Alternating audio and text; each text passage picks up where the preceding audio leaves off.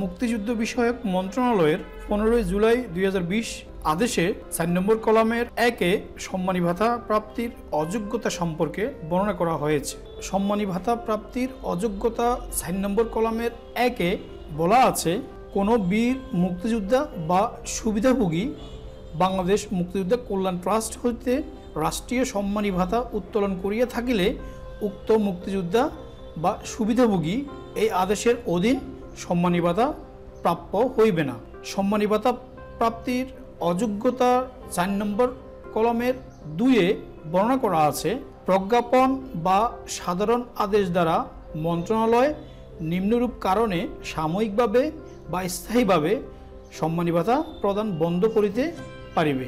যথা ক, কোনো ব্যক্তির বীর মুক্তিযোদ্ধা নয় মর্মে মন্ত্রণালয় কর্তৃক আদেশ প্রদান করা হইলে।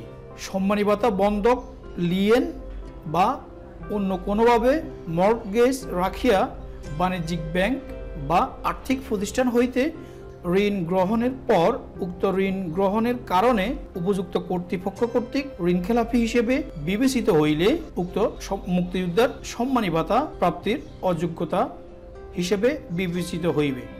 মন্ত্রণালয়ের আদেশের গ নম্বর অনুচ্ছেদে বলা হয়েছে সরকার কর্তৃক কোনো প্লট, জমি, ফ্ল্যাট, বাড়ি বা স্থাপনা বরাদ্দপ্রাপ্ত হইয়া কোনো বীর, মুক্তিযোদ্ধা বা তাহার সুবিধাভোগী কর্তৃক বরাদ্দপত্রের বা চুক্তিতে বর্ণিত কোনো শর্ত লঙ্ঘন করিলে বা উক্ত প্লট, জমি প্লট বাড়ি বা স্থাপনা বিক্রি বা হস্তান্তর করিলে সম্মানী ভাতা প্রাপ্তির অযোগ্যতা হিসেবে বিবেচিত হইবে। প্রিয় দর্শক, এই ছিল সম্মানী ভাতা প্রাপ্তির অযোগ্যতা সংক্রান্ত মন্ত্রণালয়ের আদেশ বা গ্যাজেট। আশা করি সম্মানী ভাতা প্রাপ্তির অযোগ্যতা সংক্রান্ত গ্যাজেটের বিবিধ কলামগুলি সবার অনুধাবন হয়েছে। টি টোয়েন্টি দেখার জন্য সবাইকে ধন্যবাদ।